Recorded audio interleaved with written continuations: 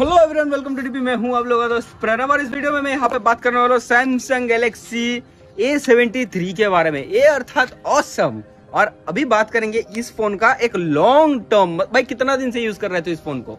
एक साल, आठ महीने मतलब मतलब काफ़ी दिन हो गया इस फ़ोन को। और इस फ़ोन का आज क्या रिव्यू है? मतलब सैमसंग का ये होगा मतलब लॉन्ग टर्म वाला रिज़ल्ट जैसा कुछ होगा कि लॉन्ग टर्म में कैसा परफॉर्म करता है। मैं ये इस फ़ोन को प्रमोट नहीं कर रहा हूँ कि इस फ़ोन को उठा लो। मैं यहाँ पे ये दिखाने की कोशिश कर रहा हूँ कि सैमसंग इतना लंबा अपडेट प्रॉमिस तो कर देता है और पैच अपडेट तो देता ही रहता है इधर उधर महीने दो महीने, डेढ़ महीने में। तो उसके बाद ये कैसा परफॉर्म करता है, इसका बजट क्या इसे जस्टिफाई करवाता है और ये फ़ोन जो है ए सीरीज़ का तो ये फ़ोन कैसा है? अगर ए सेवेंटी थ्री का सक्सेसर आया या फिर ए फाइव सीरीज़ मतलब फिफ्टी समथिंग सीरीज़ में जितने भी फ़ोन आते हैं, उन फोन्स का क्या हिसाब किताब रहता है, सारे बात करेंगे यहाँ पे। तो ये जो फ़ोन है ना इस फ़ोन का बिल्ड का अगर बात करते हैं सबसे पहले बिल्ड से ही चालू करते हैं तो यहाँ पे आपको गोरिल्ला ग्लास का प्रोटेक्शन फ्रंट में देखने को मिल जाएगा। बैक में आपको पॉलीकार्बोनेट अर्थात प्लास्टिक ही जो होता है वही देखने को मिलेगा। पर ये जो प्लास्टिक है ना ये अच्छा है क्योंकि ये तो थोड़ा मैट टाइप का है और ये सैमसंग का फिनिश ना बहुत सही होता है बहुत ज़्यादा सही होता है। क्योंकि दोस्तों देखो यहाँ पे आपको स्क्रैचेस बहुत कम नज़र आएगा क्योंकि ये जो है मैट है। और यहाँ पे आप ये ग्लॉसी जो साइड देख रहे हो ना भाई गिरा दे। भाई दिल जाएगा भाई। तो ये जो फ्रेम है ये स्टेनलेस स्टील कहा जाता है जिसे। अगर तोड़ दिया ना तो तेरा वीडियो ही सही बनता है याद रखना। हाँ तो मैं बोलना चाहूँगा कैमरे का बात करने का टाइम वो बताऊँगा रहना दो। अभी ये जो फ़ोन है ना इस फ़ोन का बाकी वीडियो वीडियो अगर बनाते हो तो देखो बहुत सारे माइक वाइक है तो बहुत सही है स्टेरियो स्पीकर भी है यहाँ पे। अभी देखो दोस्तों, इसका डिस्प्ले के बारे में बात करते हैं। डिस्प्ले यहाँ पे आपको सैमसंग का ही देखने को मिलता है, जो डायनेमिक मतलब टू होता है, वही डिस्प्ले देखने को मिलता है वन ट्वेंटी वाला। बाकी यहाँ पे आपको सारे फीचर्स भर भर के देखने को मिलता है। मैं अभी आउटडोर में खड़ा हूँ, खुले आसमान के नीचे।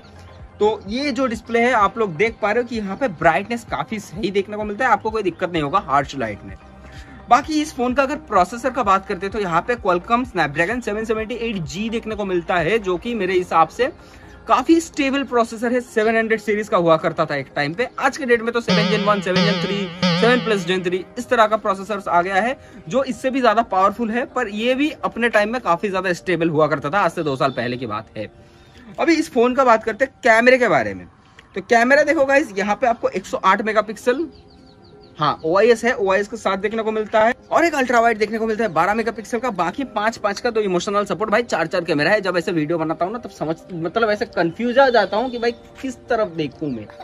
चार चार भाई सब खड़े हैं यहाँ पे तो खैर, जो भी फ्रंट में जो है 32 मेगापिक्सल का कैमरा सेंसर है। अभी आते हैं मेन कहानी पे। गाइज़ ये जो फ़ोन है ना, ये चालीस हज़ार में उठाया था, ये रोनी ने। ऑफलाइन मार्केट से खरीदा था, पर यहाँ पे आपको 4K 60 एफपीएस पे रिकॉर्ड नहीं होता। ये एक बहुत वाहियात लगा मेरे को। 4K 30 एफपीएस में रिकॉर्ड होता है। बीजीएमआई गेम जो वो 60 एफपीएस में चलता है, ठीक है? तो 90 एफपीएस होना चाहिए था चालीस हज़ार के बजट के हिसाब से। बाकी यहाँ पे सब कुछ सही मिलता है। बाकी दोस्तों देखो, यहाँ पे आपको यूएसबी टाइप सी जो है 2.0 वाला देखने को मिलता है मतलब स्लो वाला। और पाँच हज़ार M battery with twenty watt का चार्जर तो चालीस हज़ार के फ़ोन के हिसाब से कुछ एक्स्ट्रा वायरलेस चार्जिंग वार्जिंग भी नहीं है। तो अगर ये फ़ोन लेना होगा ना तो मैं इस तरह का फ़ोन में ए सीरीज़ का जो है होता है एफ़ सीरीज़ का एम सीरीज़ का, मैं रिकमेंड नहीं करता लोगों को। अगर आपके पास मतलब बीस हज़ार के नीचे शायद रिकमेंड कर भी दूँ, पर इतना ज़्यादा बजट में, चालीस वालीस हज़ार में मैं नहीं करूँगा, कभी नहीं करूँगा। क्यों? उसका मेन वजह है, देखो ये day to day task easily कर लेता है। ये वन यूआई जो है फुल फ्लेज वन यूआई है, ये इसे बहुत ही मक्खन जैसा संभाल लेता है, पर ये हैवी टास्क के लिए नहीं बना है।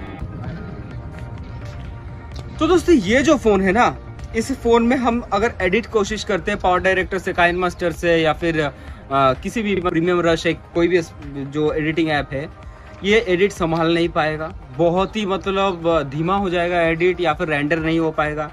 हेवी फ़ाइल डाउनलोड डाउनलोड फिर भी कर लेता है थोड़ा बहुत पर यहाँ पे आप अगर बहुत ज़्यादा हेवी यूज़र हो ना गेमिंग वेमिंग बहुत ज़्यादा करते हो मैं रिकमेंड नहीं करता।